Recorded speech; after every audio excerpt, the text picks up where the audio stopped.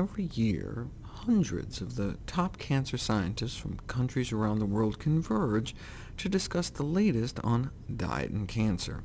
I'd like to share what I found to be the most interesting highlight from this year's conference.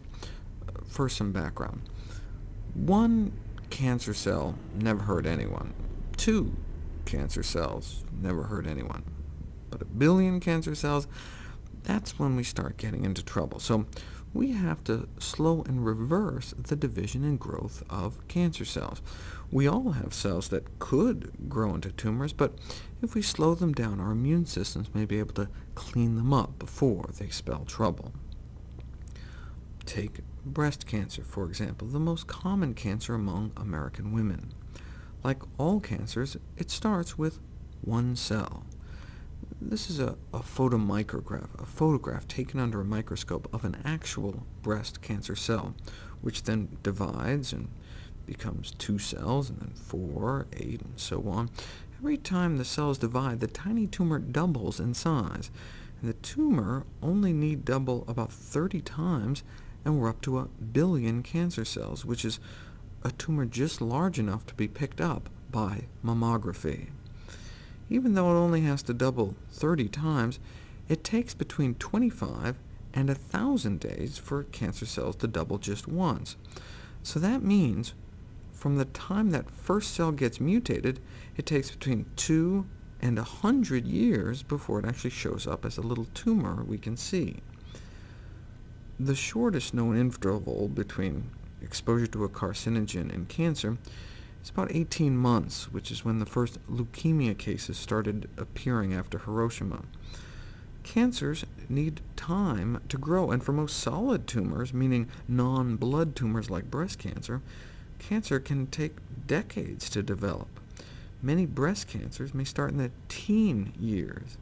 Some th think we actually may start um, uh, developing breast cancers in the womb before we're even born, and that depends in part on what our mom ate. This is what's called the promotion stage of cancer. 20 years ago, I ate meat, a lot of meat. I very well may have mutated one of the cells in my prostate, or liver, or colon, but you know, I don't mind if I get cancer in 100 years. I don't expect to be around to worry about it. The cancer may have been initiated, uh, by a DNA mutation, but if we don't promote it, if we keep it dormant, if we you know, slow it down, we may even be able to reverse its growth.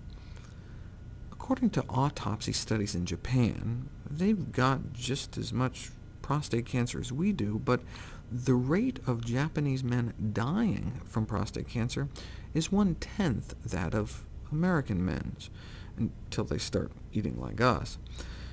Japan has the number one longest life expectancy of any nation. The U.S. falls around 19th.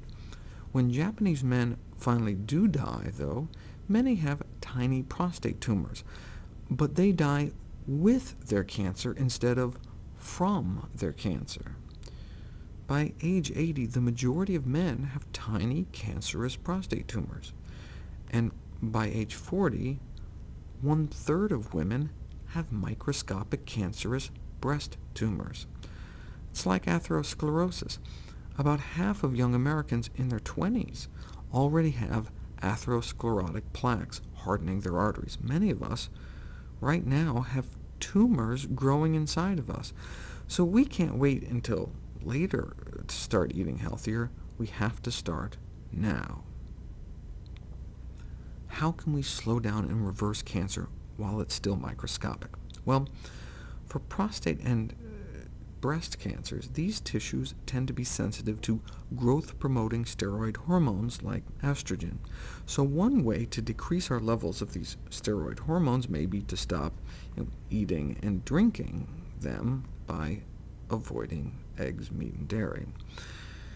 OK, let's get to the new research. UCLA scientists placed women on a plant-based diet with exercise, and the levels of all measured growth hormones in their blood dropped dramatically. That's not new news. It's what they did next that made this one of the most exciting papers to come from that conference. Before and after the dietary change was initiated, researchers drew blood from the women and dripped it on live human breast cancer cells growing in a petri dish. After just two weeks, the blood of women on the plant-based diet reduced the cancer, cancer growth rate by 20%. This is before, right? uh, just packed with cancer. This is after. Just two weeks on a plant-based diet, and the blood circulating throughout their entire bodies was that inhospitable to cancer. Again, many of us right now have tumors growing inside of us, so we can't wait until we're older to start eating healthier. We have to start now, tonight.